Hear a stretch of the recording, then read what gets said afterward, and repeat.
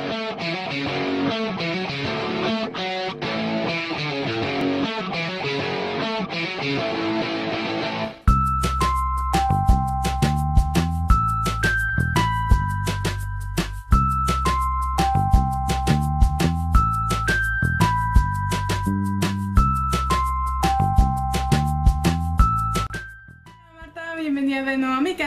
Este vídeo os traigo algo diferente, un vídeo diferente y es sobre el cuidado de las brochas.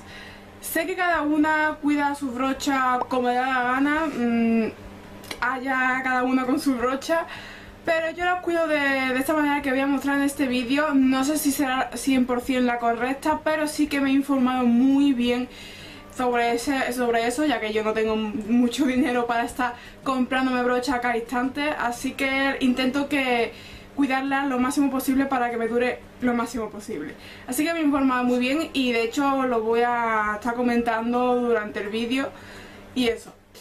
Y bueno, no me voy a enrollar más, perdona, si escucháis ruido es el ventilador que tengo aquí, es que hace mucha calor y perdonar por mis pintas, ¿vale? Eh, tengo un careto que no vea. Pero bueno, eso no es lo que trata el vídeo, el vídeo trata sobre brocha, así que os dejo con el vídeo. Bien, pues vamos a empezar y como podéis ver tenemos dos vasos, uno con la decoración en rojo y otro con la decoración en verde. El vaso 1 va a ser de la decoración en rojo y vamos a poner menos de la mitad de agua shampoo, agua micelar y alcohol. Y el de la decoración en verde va a ser el vaso 2 y vamos a poner menos de la mitad de agua, lavavajillas, agua micelar y alcohol. Y ahora explicaré por qué estamos utilizando dos vasos con dos distintos productos.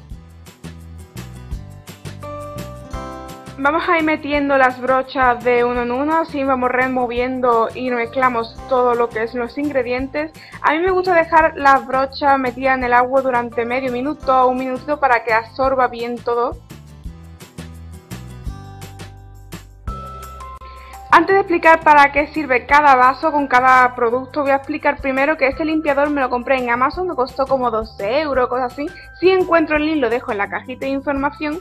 Y bueno, como podéis ver no es tan completito como los que hay, que son muy caros, pero la verdad es que me viene muy bien.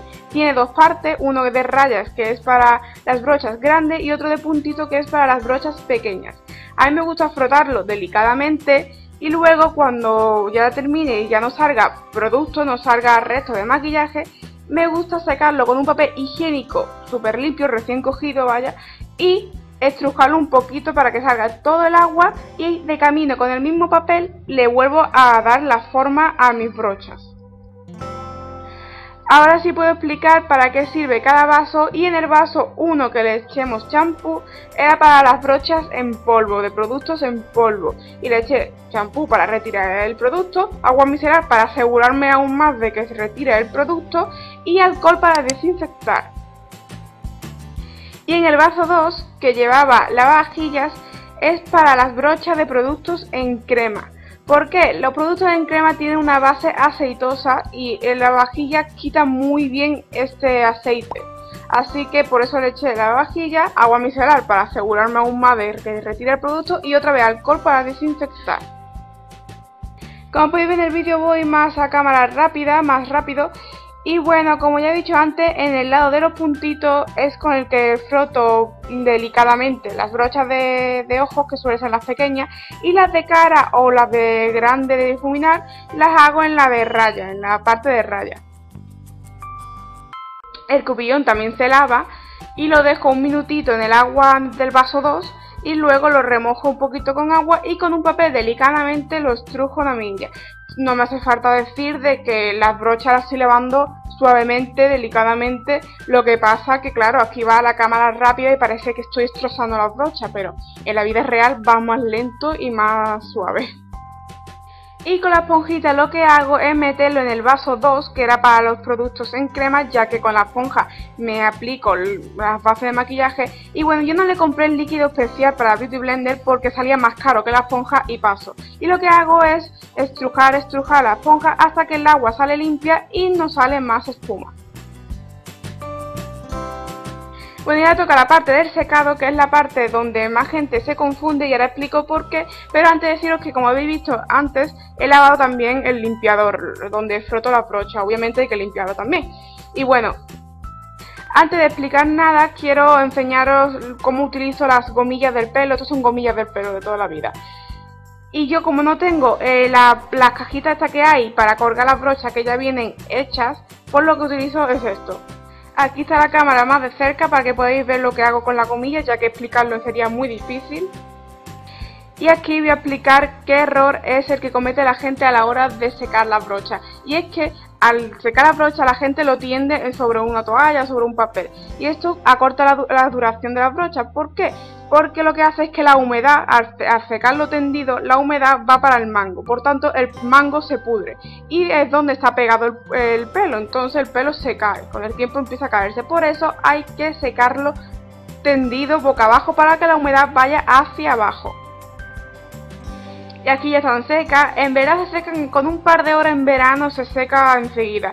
Pero yo lo dejo de un día para otro y ya está. Aquí la estoy secando. La gomiguita se puede reutilizar, la verdad. Yo la reutilizo dos o tres veces hasta que se rompe. Y aquí podéis ver lo suave que, y limpias que están. Me encanta.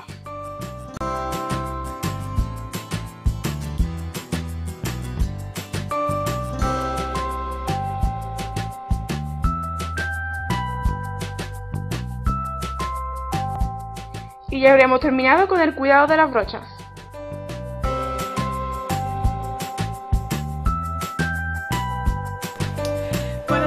Espero que os haya gustado, si así manita arriba suscríbete, en la cajita de información os dejo información y el indirecto el limpiador de brochas que habéis visto durante el vídeo, el que yo he utilizado. Lo enseñé en un haul cuando me lo compré, me salió un euro y algo o dos euros en Amazon, está muy bien de precio y a mí me ha salido bueno, así que si os interesa lo dejo en la cajita de información. Y nada, por aquí os dejo eh, mis redes sociales, por aquí os dejo el vídeo anterior y recordad que subo vídeos los martes, los viernes y los domingos. Así que nada, yo os digo lo mismo de siempre, que os mando un besazo y que nos vemos pronto.